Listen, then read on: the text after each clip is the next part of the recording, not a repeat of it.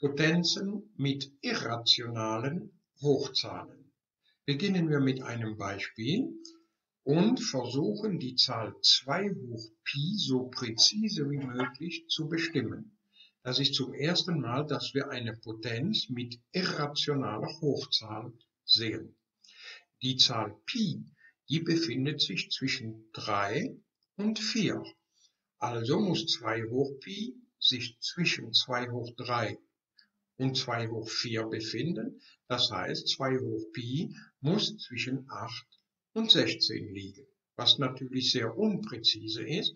Also nehmen wir für Pi hier eine Dezimalstelle.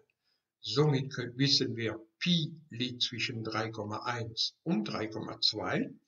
Also liegt 2 hoch Pi zwischen 2 hoch 31 Zehntel und 2 hoch 32 Zehntel. Das sind jeweils Potenzen mit rationalen Hochzahlen, die wir schon definiert haben. Somit wissen wir also, dass 2 hoch Pi zwischen 8,5 und 9,2 liegen muss. Das ist schon viel präziser als da.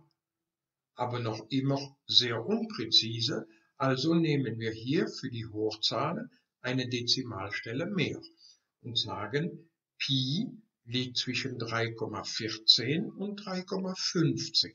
So. Deshalb muss 2 hoch Pi zwischen 2 hoch 3,14 liegen und 2 hoch 3,15. Diese beiden Hochzahlen sind rational und wir wissen also, wie sie definiert sind. Somit können wir 2 hoch Pi mit einer immer genaueren Präzision bestimmen. Nehmen wir noch eine Dezimalstelle mehr hier für die Zahl Pi, so wird es noch präziser sein. 2 hoch Pi muss sich zwischen 8,821 und 8,828 befinden. Mit einer vierten Dezimalstelle wird es noch präziser und so weiter und so weiter.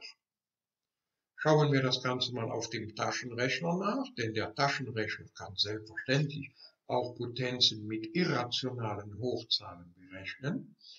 Wir schreiben 2 hoch Pi und lassen mal den genaueren Wert ausrechnen. 2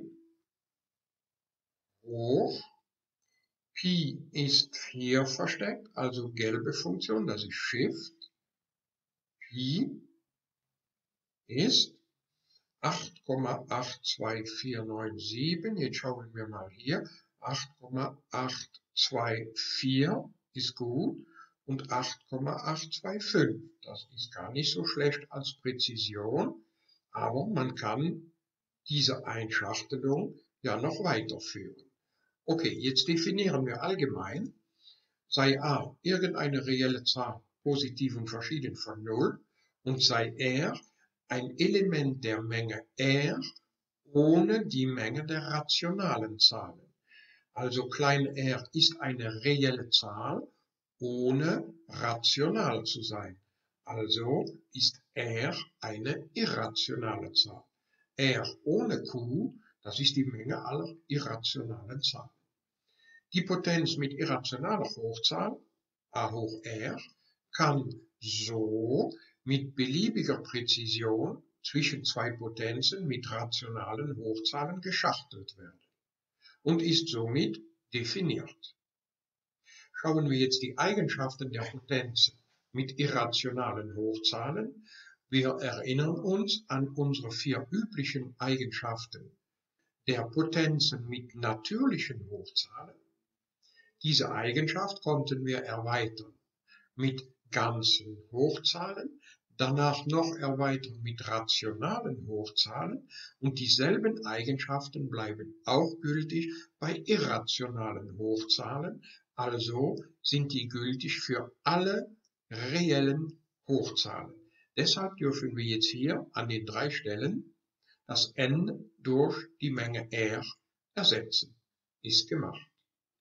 Und diese Eigenschaft, wo die Exponenten subtrahiert werden, die wir für ganze Hochzahlen bewiesen haben, diese Eigenschaft bleibt auch gültig, wenn die Hochzahlen irrational sind. Wir wussten, dass sie auch gültig bleibt für rationale Hochzahlen, also sind die gültig für alle reellen Hochzahlen und somit haben wir alle möglichen Potenzen durchgenommen.